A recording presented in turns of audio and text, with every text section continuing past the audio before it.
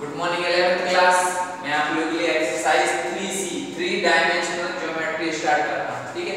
इसका question first है find the distance between following points मतलब कुछ अपन को पॉइंट्स दिए हुए हैं दोनों के बीच के अपन को क्या फाइंड करना है? डिस्टेंस तो ठीक है 10th क्लास में जो अपन को डिस्टेंस का फॉर्मूला यूज़ होता था, वही वाला होगा, बस उसमें एक डायमेंशन बढ़ जाएगा, उसमें z आ जाएगा, ध्यान दें। सबसे पहले एक लाइन बना दो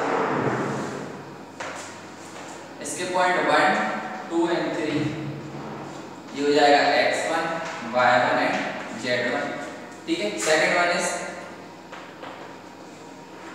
x2 y2 एंड z2 ठीक है? ये दो अपन को पॉइंट मिल गए ये x1 y1 z1 ये x2 y2 z2 इन दोनों के बीच की क्या फाइंड करना है डिस्टेंस तो डिस्टेंस का फार्मूला अप्लाई करेंगे।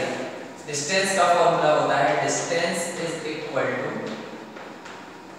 under root of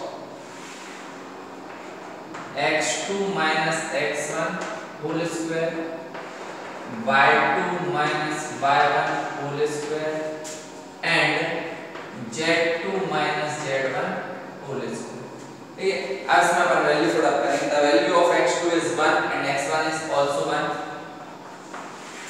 so 1 minus 1 whole square y2 is 3 2 3 minus 2 whole square and minus 2 और minus 3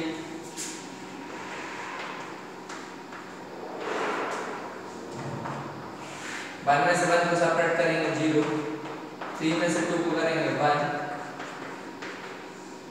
both are negative sign इस नेगेटिव ऐड हो जाएँगे. ज़ीरो ज़ीरो या ज़ीरो वन वन या वन फाइव फाइव या twenty five दोनों को add करेंगे.